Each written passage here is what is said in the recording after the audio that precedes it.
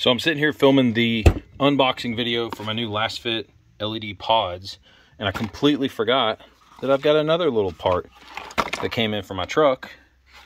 These are GMC logo under mirror like puddle lights.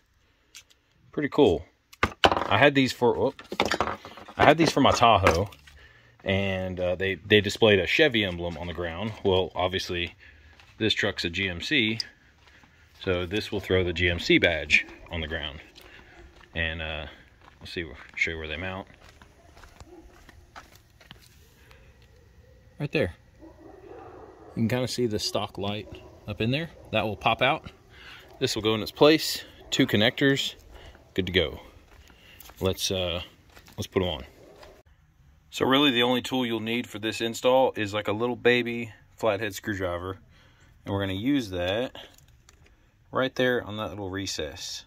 We just got to push that in and you can see it's kind of spring loaded. So we'll push that in and we should be able to pull the stock one out. Make it a little easier to work on them.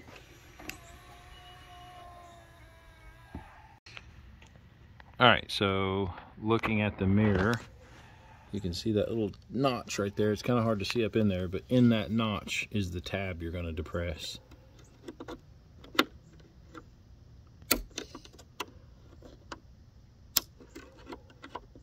Kind of hard to get to. There we go. That's it. See that? Once that's out, factory light just comes right out. So now we can just unplug this little wiring harness. There you have it.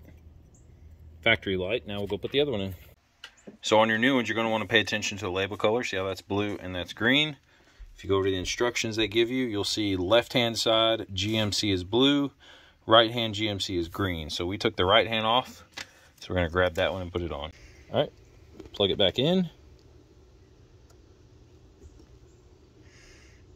All right, hold on, let's see here. There it is. I think that's it. Yeah, that's it. So we'll plug it in tab goes down behind it. And now we just got to push it up into the hole. So now we'll take it. That's it. That's literally it. That was fast. It was, wasn't it? To be honest, that was super fast. So right hand side's done. Now we just got to do the driver's side. So the left side's next, and it's exactly the same as the right side. So I'm not going to show you that, but we've got both sides installed now and it's daytime, so the lights aren't going to turn on by themselves when we unlock the truck. But we can go ahead and just turn the headlights on. Hopefully that'll do it. I gotta hit unlock. So let's see here. We'll hit the unlock button. It's still not gonna work. All right, well, I guess we're gonna have to wait till nighttime. So when it's nighttime, we'll finish this video and show you what it looks like in the dark. All right, it's finally dark outside. Well, mostly dark. Dark enough for me to get the shot I want. And so let's see what these lights look like. Hopefully. Oh, yeah. Oh, yeah. There we go.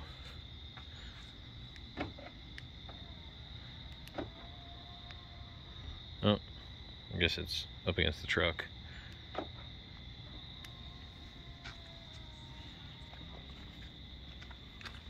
That's pretty sick. What if you can even like, no, you can't make it out from there.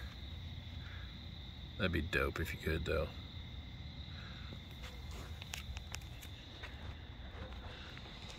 All right, light install, super easy. It was like $120 on the GM accessory website. And uh, if you bought a new truck recently and you haven't used your points yet, you've got, I think they give you 20,000 points whenever you uh, buy a new vehicle. So that's 100 bucks right there. And I, I think in the beginning of next year, maybe, the points are going to go to like zero value. Like, I, I can't remember what it is, but it's something stupid that's way less than they are now. So use your points while you got them. Let's go looking bike. Use your points while you got them and uh, get you some of those puddle lights. Uh, let's see if I get the part number here. So GM part number 84408373. Made in Korea. You know how they roll.